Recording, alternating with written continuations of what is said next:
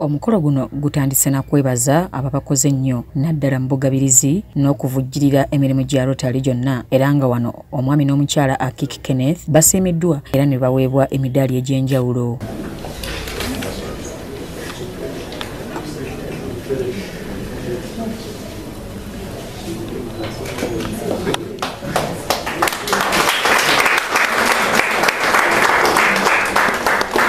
mu kwogerako eri bannarotale district governor omujja ani nkutu atandise nakwebaza bannarotale b'essonde olw'emirimu emirungi gye bakolera rotale omuli n'ebyo ebirowoozo ebyenjawulo kw'ossa n'okwongera okukunga abakiise abalala era n'asaba beeyongere mu maaso. Takomye okwo abasabye bateeke ekirowoozo ky'okukuuma obutonde bw'ensi nga bwe bateekateeka okusimba emiti ate era n'abasaba enteekateeka eno egendere eddala ne mu masomero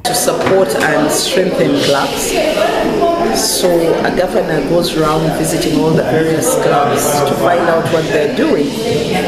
And uh, I'm happy to report that in Sonde they have a number of projects uh, that they're working on. And one of the most exciting projects for me is their plan to plant 10 acres of trees um, somewhere in Buyikwe uh, on a partnership with the Uganda Kingdom.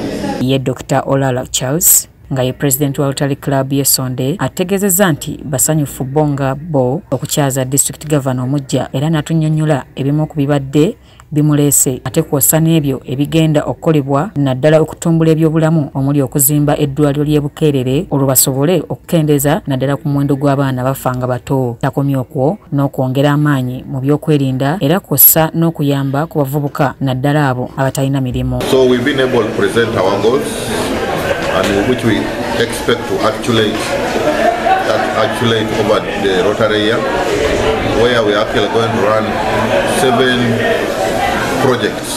One of these definitely our signature project in in the Bukere, Bukerere Health Center 2, which we are working with the, in collaboration with Kampala Sunrise, Sunrise Kampala, Rotary Club, and other, and, and other partners in Canada to be able to see how to upgrade it and equip because we know very well that we need to contribute to reducing maternal and newborn newborn deaths in this country. Ani Nkutu, District Governor, atunnyonnyodde ebimu ku byasinze okumuleeta okulambula ku bannarotale b'essonde naddala ng'enteekateeka y'okutumbula obutonde bw'ensi ate kwossa n'ebyobulamu mu bitundu bannarotale mwe bali.